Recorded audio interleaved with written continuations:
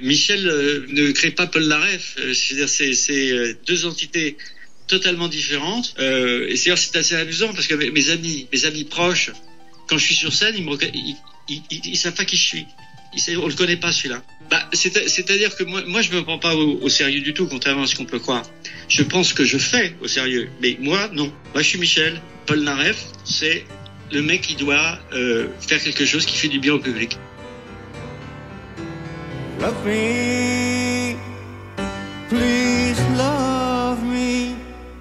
Je.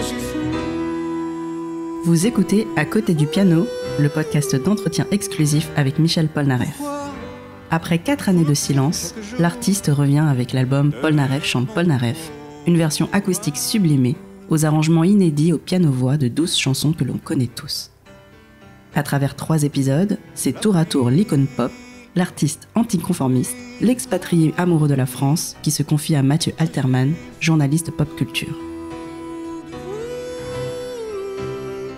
Dans ce deuxième épisode, Mathieu Alterman interroge Michel sur Polnareff.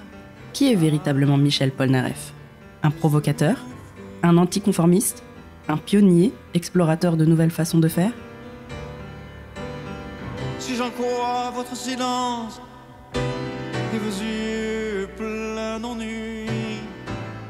La provocation et la différence, c'est quelque chose que, que tu as revendiqué depuis tes débuts, vraiment. Depuis tes débuts, tu étais à part. C'était quelque chose que tu avais mûrement réfléchi, ou alors c'était la spontanéité du moment à chaque fois? Spontanéité du, du moment à chaque fois. Non, L'envie d'être euh, celui qui est pas comme les autres. Je te, je te provoque en répondant pas. Ah si, t'as répondu. Provoquer. Faire réagir. Michel Polnareff, qu'on l'adore ou qu'on le déteste, est un artiste qui ne laisse pas indifférent. Ses extravagances et transgressions sont légion. Il déménage 14 fois entre 66 et 73. Il veut entrer sur scène à l'Opéra Garnier en hélicoptère, tire sur les murs de son appartement pour abattre des cloisons, fait de la moto dans son salon, et il présente en 72 le spectacle Paul la Révolution à l'Olympia avec une affiche fesse nue dans un chemisier de mariée. À l'époque, elle fait scandale et lui vaut une amende pour attentat à la pudeur.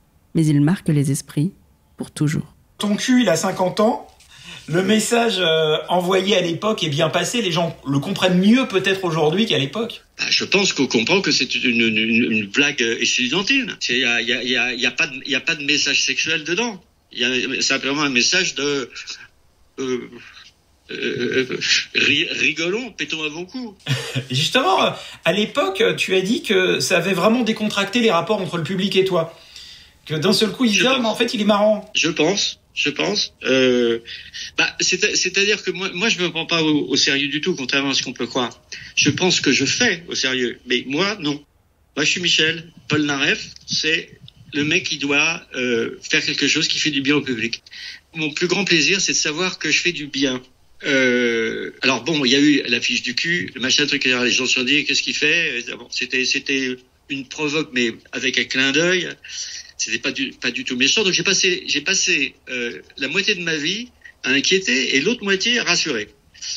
Et ça n'a pas l'air d'être fini. Ce qui surprend avec Michel Polnareff, c'est ce double visage. D'un côté extravagant, l'artiste star dans sa splendeur et ses excès. De l'autre, l'homme sensible, parti aux États-Unis pour l'anonymat, généreux, proche de son public. Comment voit-il ce dédoublement de personnalité? Euh, Michel euh, ne crée pas Paul Naref. Euh, c'est deux entités totalement différentes. Et c'est c'est assez amusant parce que mes, amis mes amis proches, quand je suis sur scène, ils ils savent pas qui je suis. Ils savent, on le connaît pas celui-là. Mais euh, si je suis triste, je, je suis triste. Si je suis gay, je suis gay. Si je suis happy, je suis happy. Si je suis sad, je suis sad. T'as l'impression euh, d'être un peu un super-héros? Enfin, tu, tu vois, Superman, il rentre dans une cabine téléphonique, il met son costume. Toi, c'est un peu ça. Tu rentres dans un truc et tu deviens Paul Naref. Ouais, c'est c'est c'est ouais, c'est possible, possible. Oui, mais alors, c'est c'est euh, c'est sûr que je deviens quelqu'un d'autre sur scène. Si t'étais pas Paul Naref, qu'est-ce que tu penserais de toi? Mais je sais pas exactement qui est Paul Naref. Hein. Euh, Paul Naref, c'est à toi de me dire qui il est. Moi, moi, je sais pas qui c'est. Euh, c'est un c'est un mec. Euh, euh, je sais pas, c'est un mec qui est assez doué pour la musique, qui qui joue pas mal au piano, qui chante pas trop mal. Euh, mais euh, mais qui est vraiment Paul Naref euh, Je sais pas. Je, je- je- pour, pour toi, c'est qui voilà Ah bah, Je te- c'est- je- tu- J'ai le droit de te poser une question. C'est celui que Michel connaît le mieux. Pas forcément. Pas forcément. Pas forcément, parce que Paul Naref peut avoir des réactions inattendues. Mais toujours sincères. Toujours, toujours sincères. On ira tous au paradis, même moi. Qu'on soit béni ou qu'on soit maudit, avec les saints et les assassins, les femmes du monde et puis les putains. On ira tous au paradis.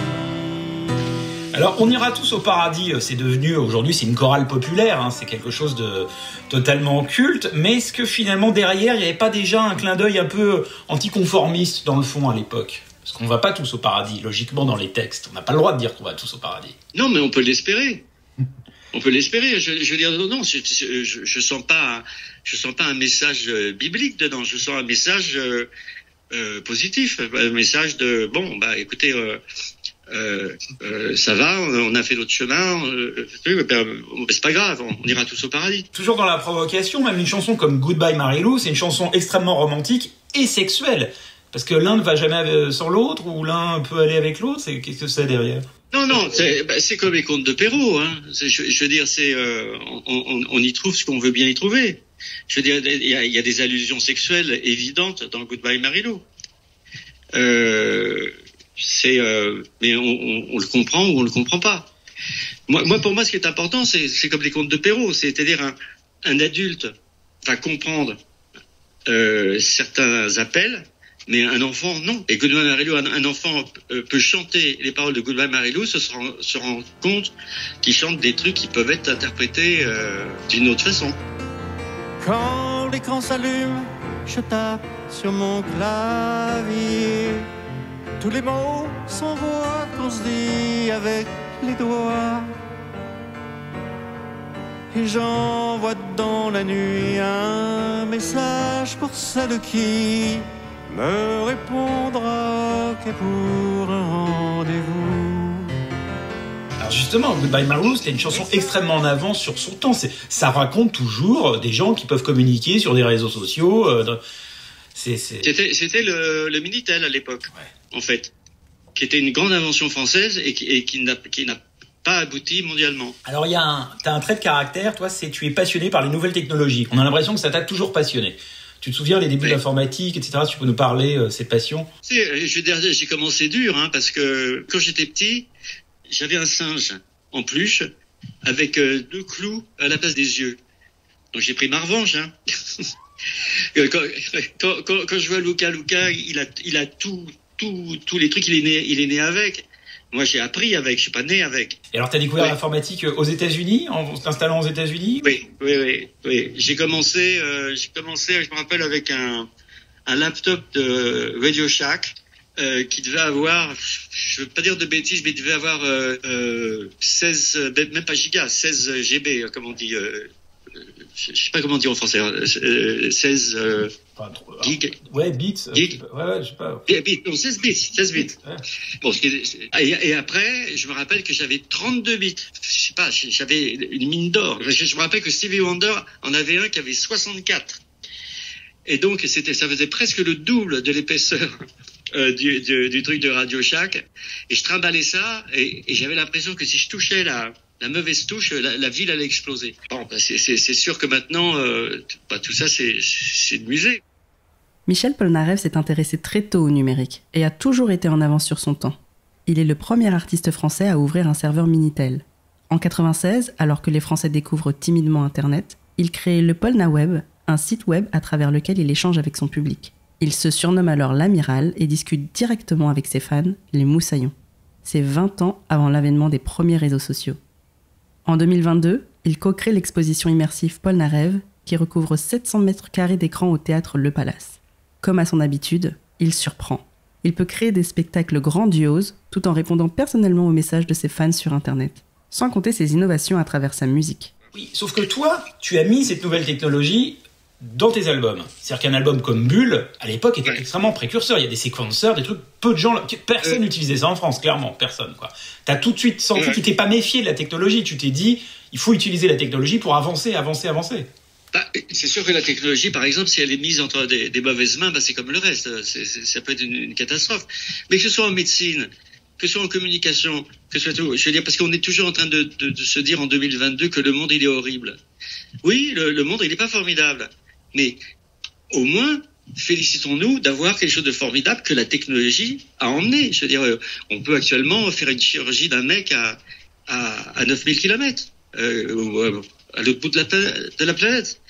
Bon, mais la technologie, ça peut eff- effectivement emmener des missiles aussi, ça peut emmener, ça, ça dépend entre les mains de qui c'est. Tu es le premier artiste à avoir eu un, un Minitel. Apolna 36, Ouais. 36 euh, 15, c'est ça? 3615 Paul là, Apolna 36, 15. qui était quasiment un ancêtre de Facebook où les gens euh, communiquaient. Oui, oui. Euh, Oui, été le premier à avoir un site internet et tu as été le premier, quasiment un des seuls, à comprendre qu'un artiste sur les réseaux sociaux, faut que ce soit lui-même qui réponde, sinon on se fait chier. Si on comprend que c'est quelqu'un qui le fait pour lui, ça n'a aucun intérêt. Oui, alors euh, ça c'est un truc un peu plus délicat parce que euh, moi par exemple le, le polnaweb.com que je vais ressortir est un vrai truc direct entre entre l'artiste et, euh, et son public. Il peut y avoir des parties, euh, mais à ce moment-là, il faut que ce soit très très très délimité et, très clair, où on comprend que c'est par exemple actuellement euh, Warner, euh, avec qui je suis ravi de, de m'associer, euh, qui fait des, qui fait par exemple des déclarations disant je vais vous pré- précommander, ta ta ta ta. Je fais pas ça. Euh, donc donc, moi je fais des trucs euh, qui sont vraiment personnels. Mais c'est vrai que je trouve que le le un, ré- un vrai réseau social doit être perso- personnel entre l'artiste et, et, et, et ceux qui lui qui, qui lui parlent sur un, sur un plan personnel. Mais justement, quelquefois c'est drôle parce qu'il y a des gens qui longtemps se sont dit, mais c'est pas, pas possible, c'est pas Paul Naref qui répond. Et si, Si, si, si, si, si. Et évidemment, euh, il y a toujours, il y a toujours des, des, des, des sosies euh, digitaux euh, à qui on fait la chasse autant qu'on peut, parce que il il peut y avoir des grosses euh, escroqueries qui se passent en mon nom et qui ne viennent pas de moi. Et, et je- beaucoup d'artistes célèbres qui sont victimes de ça. Alors maintenant, euh, ça, ça a inspiré tout le monde parce que de plus en plus, des artistes répondent eux-mêmes, animent eux-mêmes parce que tu as été le premier à le faire. Personne ne le faisait, quoi. Ça, ça n'existait pas, les artistes qui. Ouais. Enfin, pour, pour moi, ça me paraît l'essence. Euh, T'es passionné par les nouveautés euh, sur le web 3.0, les NFT, tout ça qui arrive. euh, Bien sûr, bien sûr. Bien sûr, mais c'est là où il y a des trucs que je peux pas faire moi-même. C'est là où j'ai besoin d'une équipe. Euh, pour euh, parce que parce que sinon euh, ça prend 24 heures de la journée et, et là il y a plus de, de place pour la musique. Love me, please love me. Vous venez d'écouter le deuxième épisode d'À côté du piano, le podcast Warner Music France produit par Bonjour Podcast à l'occasion de la sortie de l'album Paul Naref chante Paul Naref. Écoutez les deux autres épisodes de cette série exclusive disponible sur toutes les plateformes d'écoute de podcast. Interview, Mathieu Alterman. Voix et réalisation, Mélanie. Mixage, Benjamin Roa. Et bien sûr, derrière le micro, Michel Polnareff.